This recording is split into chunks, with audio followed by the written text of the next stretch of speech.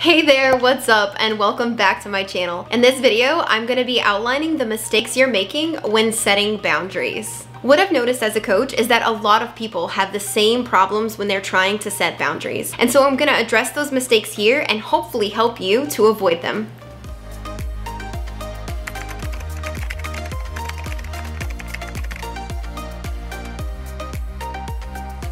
Before I get into the mistakes that we make with boundaries, I wanna start by defining boundaries for you. I like to use visual representations to explain abstract concepts, such as boundaries.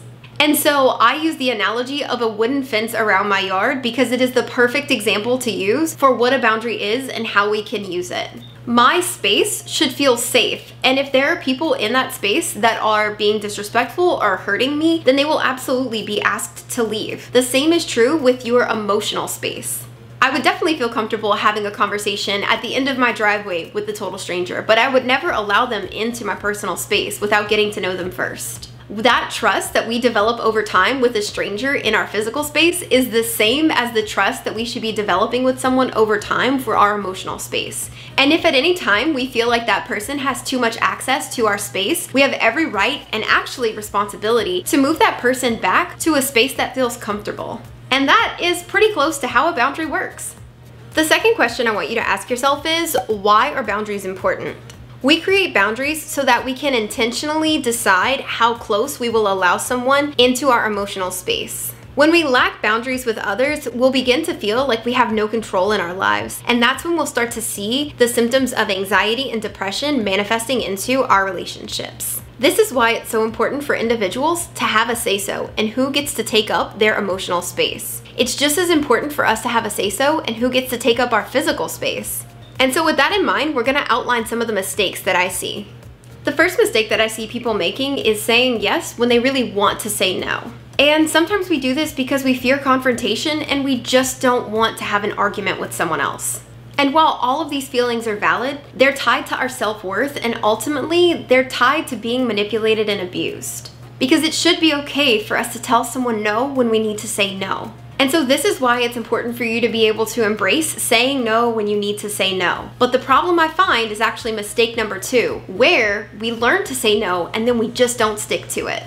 The second mistake that I see people making all the time is agreeing to do something that they had already said no to because they feel that icky feeling of guilt. This is something that is really common for someone to do to themselves whenever they have habitually allowed others to overstep their boundaries. What they're communicating is, my initial response wasn't set in stone, and if you continue to say things and bring up these feelings of guilt, I'll probably change my mind. And so if you resonate with this, then take note of the people who continually ask you to do something when you've already said no. It is gonna be more difficult to set and to keep up boundaries with these people, but the more that you reinforce that your no means no, eventually they will begin to understand and respect that you're not changing your mind and you're not going to let down your boundary for them. As a reminder, when you're in a balanced relationship, both people are able to understand when the other person isn't able to help them. And they respect that when that person is able to help, they will. And when they say no, their boundary really is no.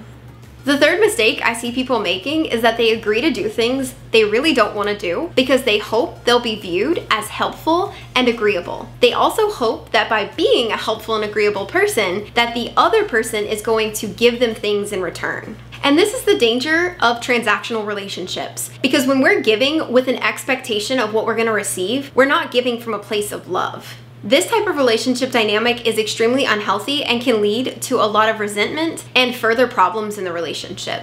So if you find that either you and or other people in your lives are giving with an expectation of what they're going to receive in return, it's really important that you start to address these behaviors so that you guys can adjust your relationship dynamics to have a more reciprocal relationship rather than transactional. I've actually considered doing a deeper dive on reciprocal versus transactional relationships. So if you would like to see something like that, let me know in the comments down below. The fourth mistake that I see all the time is an individual being in a conversation and not wanting to express that they feel disrespected or uncomfortable with the topic that's being discussed. The number one reason that I see people doing this is because they want to avoid conflict at all costs. And so I want to remind you that boundaries are not limited to someone asking you a question. It can also be a topic that they naturally bring up in a conversation that you just don't feel comfortable discussing. And so if you notice this in your conversations, you have every right to express that you don't want to discuss that or something made you uncomfortable. The next time that you notice that you begin to feel uncomfortable or disrespected in a conversation, you can simply address it with that person and let them know that either you're ready to end the conversation or that the conversation topic needs to change. This includes topics like gossiping and complaining, or even polarizing topics like religion and politics. You have the right to express when you feel uncomfortable and to have the topic of that conversation either changed or in the conversation altogether. The fifth mistake is truly heartbreaking, and it is when someone gives to others, such as money or their own material things, because they believe that other people deserve it more than they do. While I see this a lot with adults in their own friendships and romantic relationships, I actually see this a lot between children and their parents. Not only children who still live at home, but also adult children and their parents. And so what this looks like is an individual feeling like they deserve access to your personal things so that they can do checkups on you or wanting to have access to your personal things because they feel like they're entitled to use them anytime that they want to. I especially see this in romantic relationships when one partner has cheated on the other partner. What happens is the partner who has been cheated on feels like they deserve access to everything that their partner has, their phone, their computer, their social media. And while I understand where that comes from, the need to check up on your partner, I can also tell you that if that behavior continues, the relationship is going to fall apart. I know this may be hard to hear, but if you choose to stay in a relationship after someone has cheated on you, the goal has to be to redevelop trust. And if you are always asking for access to the other person's things, trust is never going to be built. Keep in mind that you're not obligated to stay in a relationship once someone has cheated on you. If you don't feel like it's possible to regain trust, then the relationship should probably end.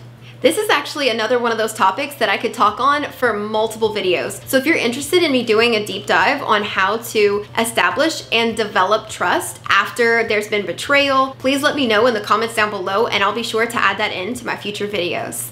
The sixth and probably the most unhealthy mistake that I see people making is that they label the person and their behaviors as just the way that they are, or they have a strong personality or an alpha personality, when in reality, what they're doing is disrespectful to your boundaries, and sometimes it's also abuse or manipulation. Keep in mind that just because everyone else has excused this person's behaviors, probably for their entire life, it doesn't mean that you have to as well. And so the reason that most people stay the way that they've always been is because if they have a negative behavior and others are making excuses for them, then they never have an opportunity for growth because no one is ever holding them accountable for the unhealthy behaviors that they're displaying in their relationships. And so all of those excuses allow the person to stay who they've always been, and it further enables them to be controlling, manipulative, and abusive. And so when you point these behaviors out, you're actually helping that person and other people who interact with them. That gives the person the opportunity to change and to grow and develop as an individual who can show up in their relationships in a more respectful way.